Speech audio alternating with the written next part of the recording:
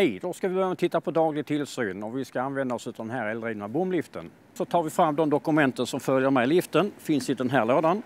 Eventuella brister och begränsningar finns då antecknat på protokollet. På korgen så ska man titta då att sparkskyddet eller kantlisten här är hel. Slangarna är hela. Innanför luckorna så kontrollerar vi då så att det ser helt och rent ut. Och här kontrollerar man då vätskenivån. Vi har en knapp för nödkörning och sista utskjutet närmast korgen. Att jag kan vinkla upp den ytterligare.